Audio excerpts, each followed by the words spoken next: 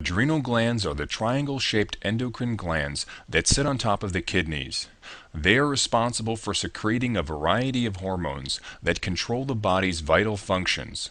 One of the most important functions is to control the stress response through the synthesis of corticosteroids.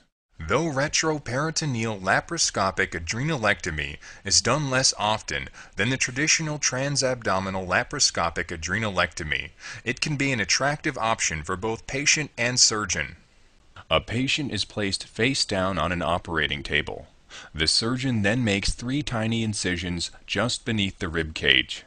The surgeon then places a scope and surgical tools into the peritoneal cavity to access the adrenal gland which lies on top of the kidney. The surgeon then resects the adrenal gland, carefully dissecting off connected tissues and ligating the adrenal vein and arteries. Retroperitoneal laparoscopic adrenalectomy is a relatively straightforward procedure that offers reduced invasiveness, shorter recovery time, and less pain than traditional surgery.